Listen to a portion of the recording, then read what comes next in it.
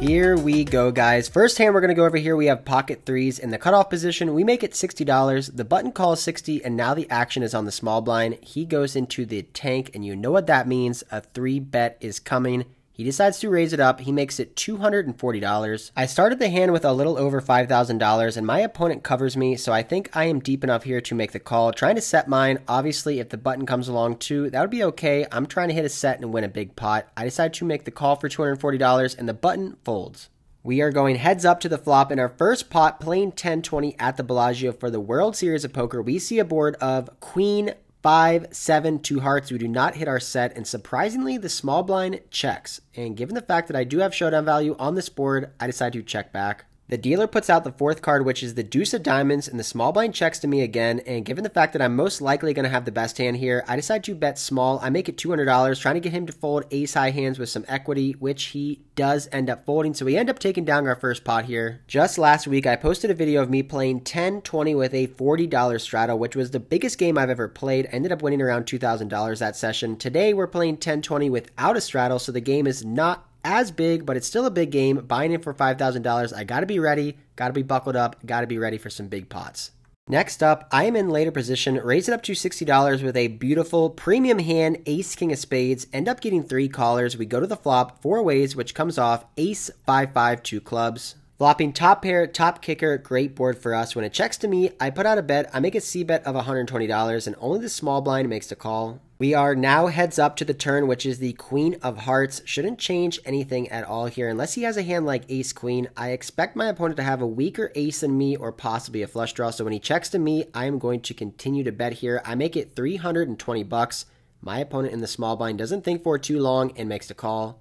I would expect my opponent to put in a raise with a hand like 5 or possibly ace queen for top 2 pair, so I'm feeling pretty good about my hand. Going to the last card, which is the 9 of hearts. The flush draw misses, my opponent checks, and I want to be putting out a bet here that he can call with a hand like ace jack, ace 10, ace 8, maybe ace 4, ace 3. I bet $500. He does not think for too long and fold, so it looks like he must have had a flush draw. We take down another pot here, flopping top pair, top kicker, and holding up.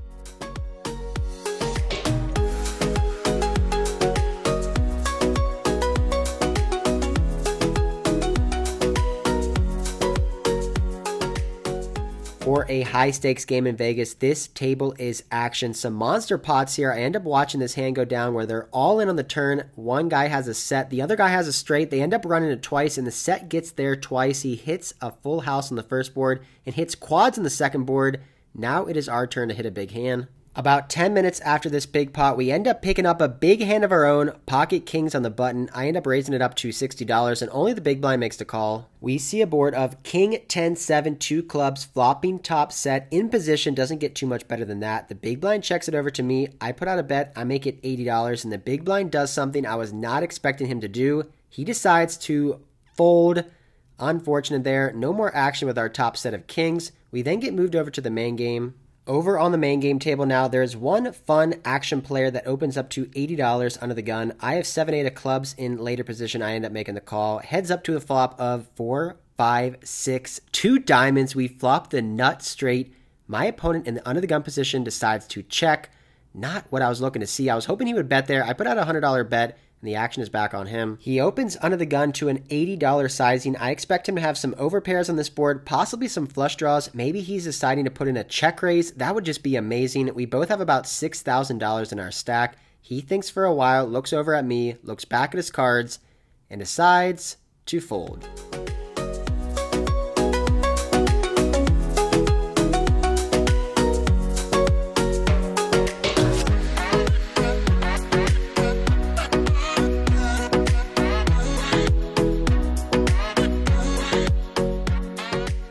All right, guys, I usually don't do this talk to the camera thing halfway through the session, but we started off today at 1020. The game looked really good. Tons of recreational players and a ton of action, but then we got moved to the main game, and that game was not good. Tons of pros, tons of young, really, really good players, guys from different countries. They were tanking forever. Every single hand took like three or four minutes. It was awful. I was definitely one of the worst players at the table. So, put my name on the 5-10 list, waited to get called. Now I'm on a 5-10 table. Should be better action, and I think it's a lesson towards me and everybody else trying to take shots at bigger games. If the game is bad, don't just sit in a bad game or you're one of the worst players at the table. Drop down at stakes, play a game you're more comfortable with, and hopefully win more money. I think I won about $300 to 1020 in about two hours, but now we're at 510. Hopefully to run good, find a good table, get some good action. Let's go. We end up taking our seat at one of the 7, 5, 10 tables they have here at Bellagio during the series. There is a lot of action going on tonight. We get right into the first hand in the big blind with pocket 10s, folds all the way to the button who makes it 30. I'm going to be 3 betting button versus big blind with such a strong hand. I make it $120 and now the action's back on him. The button decides $120 is not good for him. He is going to make it more. He makes it $400 and this raise size is very polarized. He's saying he has aces and kings with this sizing. He makes it over 3x 4 bet. It just kind of feels like he was trying to push me off the hand. So I immediately put him on ace king. And pocket tens does beat ace king. We are flipping. He could potentially have some bluffs here, maybe some ace high hands, maybe some king queen or king jack that he's turning into a 4 bet bluff. Most of the time I would just fold my pocket tens here, but this time I just had a feeling he was not that strong or had ace king, and I just came from a big game over $5,000 deep, so I'm just to go with it here. I decide to go all in. All in.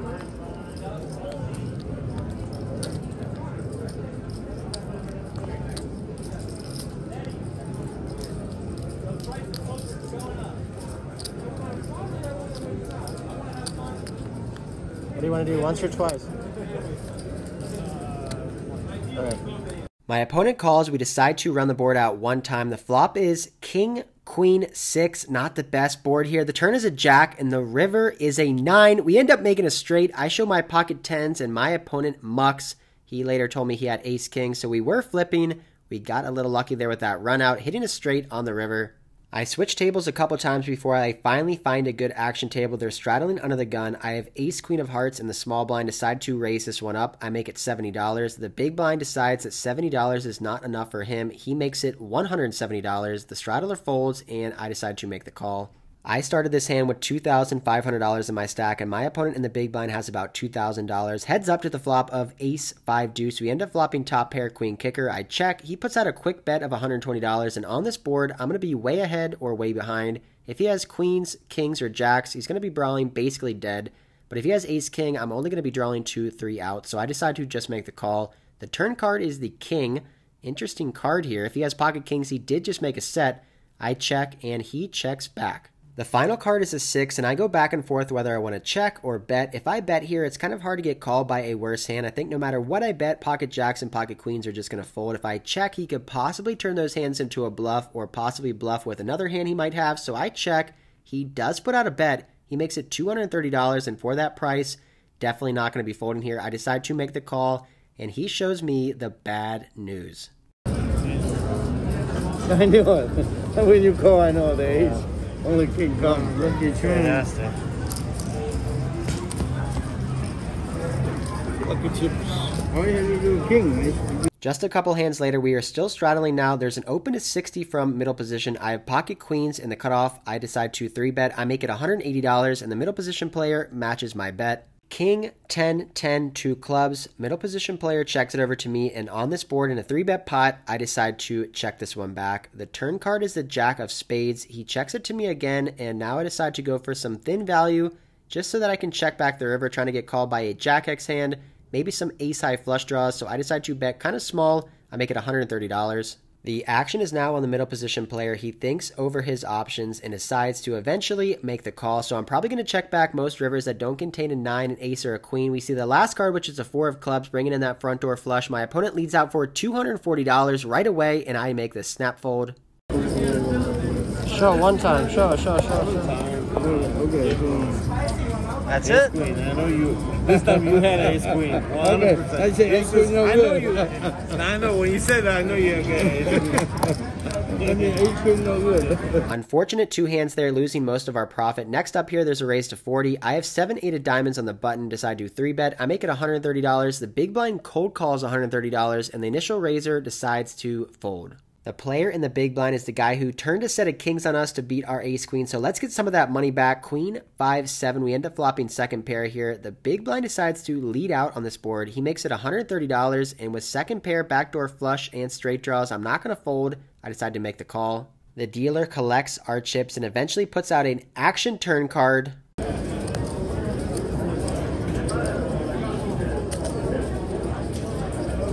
All in. Do you want to do? Once Can we or run twice? twice? Sure. I got that one. Shit. What do you have? Six, seven, eight, nine, ten, straight. We chop, I guess. The turn card is the eight of clubs, giving us two pair. My opponent bets six hundred dollars. I shove all in for around eighteen hundred, and he makes a snap call with a straight and flush draw. We run it twice. He hits the straight on the first board and misses the second board, so we end up chopping this pot up. If you, if you say one time, I would have got it. I laid out King Jack. I always go twice. now we got. We got twice. And yeah. A couple crazy back to back hands there. Next up, we have Pocket Jacks in the straddle. A very, very tight woman decides to raise it up. She was limping almost all of her range. She makes it $70 on the button, so I think she has a pretty strong hand here. I decide to just make the call with Pocket Jacks. We are heads up now, out of position to the flop of 5 5 6 2 clubs. We end up flopping an overpair. I check it over to her, and she does put out a continuation bet. She makes it $80, and I'm not feeling too great about this spot. Like I said, she'd been playing very tight. However, can't be folding pocket jacks on this board, so I make the call for $80. The turn card is maybe one of the worst cards in the deck. It's the King of Spades. Now I decide to check it over to her, and she continues to bet, but she bets for a smaller sizing. She makes it $120, and on this turn card, I would expect her to check back all of her 10s, jacks, queens, and pocket nines. So whenever she bets here, she's polarized to saying she has aces, ace king, and pocket kings. I'm not really sure if I have the best hand or not, but when my opponent represents such a narrow range, I feel like I'm just going to have to call here and evaluate on the river. If a club does come in, I could lead out huge on the river trying to represent a flush. We end up going heads up to the last card here, which is the Four of Clubs. So that is kind of the card I was looking for. It's a potential bluff candidate. I go into the tank whether I want to do it or not and decide to pull the trigger. I lead out here for $700. My reasoning behind leading out here on the river is that I can get hands that are beating me to fold like a king, possibly pocket aces, maybe king queen. If she has pocket queens or pocket jacks, she will most likely fold those hands too. I don't think she has a flush here ever. If she bet the flop with a flush draw, I think she would just check back the turn trying to realize her equity. I can have all the flushes in my range. I called in the straddle. I can have a ton of suited hands here. I could be check calling on the flop and check calling on the turn with a flush draw. And then if I hit it on the river, I would lead out big, trying to get paid off by aces, ace king, or king queen. I also picked this player because she had been playing very conservative, not playing many hands, limping a ton of hands, so I don't think she's going to want to be paying off a $700 river bet with just one pair. She only has about $1,200 in her stack, so if she calls, she's going to be left with less than $500. She thinks for a while. My heart is racing. I'm really hoping this bluff gets through. She ends up tanking for about two minutes and lets it go. We end up taking down this pot with pocket jacks here. Pretty sure it was a bluff, but either way, we end up winning this one. It's around 2 a.m. We've been playing for about five hours, and what I've noticed in the past at the Bellagio, after 2 a.m., the tables start to heat up. The action is about to pop off at our table. We have two players that sit down, buying for $1,000. They're straddling, raising blind, buying fireball shots. Things are about to get a little crazy. One of the action players I was just talking about straddles under the gun for 20. The other action players on the button, he ends up calling 20. I have king queen offsuit in the small blind. I raise it up, I make it $110. The under the gun straddler makes a call and the button makes a fold. We end up seeing a board of king, 8, deuce, 2 hearts. We flop top pair, queen kicker. Great board for us. I put out a smaller bet here. I make it $60, trying to keep my opponent in there with his entire range. He ends up snap calling our $60 bet, so we're going heads up to the turn, which is the 6 of hearts, does bring in the flush. I decide now to check it over to him, potentially let him bluff or possibly value bet a worse hand. He makes it $200. I am not going to be folding against this player. I make the call. The last card we see here is another 8. I decide to play and flow and check it over to him, and he instantly checks back. I tell him I have a king. He shows 10 deuce for a deuce, and a king is going to beat that. So we end up taking down our last pot. No more significant hands for us. We end up racking up our chips, heading to the cage, and cashing out for the night.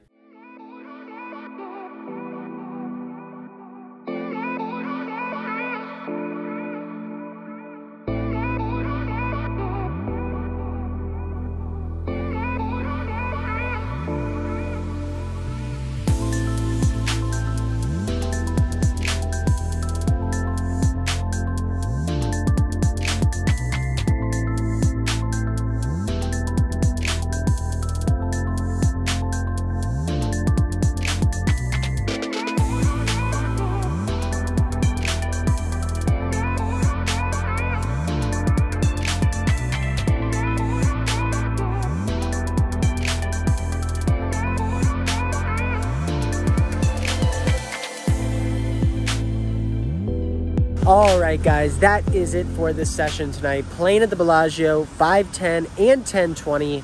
We don't know how much we were in the game for because I was at 1020, then I switched to 510. I was switching tables. I don't know how much, how much I was in for, but I counted my chips before, counted my chips after, and I won 85 bucks. So I will take it. A nice little profit here after a crazy swingy ass session. And to be honest, it's kind of tilting because I've only lost two sessions while I've been here in Vegas. I've been here for eight days. I've only lost two sessions. One of the sessions was the Aria vlog I showed you guys about a week or so ago. And then another session was there at the Aria that I did not film. But some sessions I didn't film were a 3.5K Bellagio win. Yesterday I won $2,300 at the Wynn playing 2.5.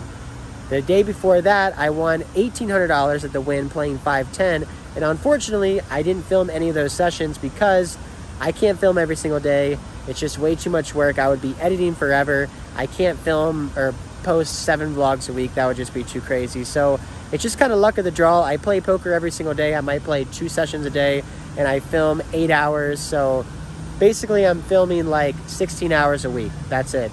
So if I play 40 hours, those hours are kind of unaccounted for. And it's just a little unfortunate that while I'm on this trip, I'm not filming those big winning sessions of three and a half K or two and a half K. Uh, and then today we just won 85 bucks, but it was still a pretty exciting session.